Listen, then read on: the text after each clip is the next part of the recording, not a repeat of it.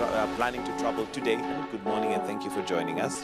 We also have Lucy Njuguna. When we look at uh, responding to road All right, let me come to you, Waihiga, and Yes. maybe just for the benefit of or somebody who's just within the situation. last two weeks uh, on road accidents, and God forbid, but all the players who are in the emergency response phase. A motorcycle can be able to um, manual bleeding, uh, stabilizing the fractures. Waihiga, maybe just briefly describe to us the importance of people out. And sometimes that could lead to, and even then, there could be a necessary engagement with the government and also at uh, mobile because I mean, how many can I run them? you'd still be able to attend. Yes, they'll be still able. The network providers are really able to also help us in the same way. Is when setting out on a long journey, despite the fact that Or behind you, it would be advisable to get even the radio and while on that,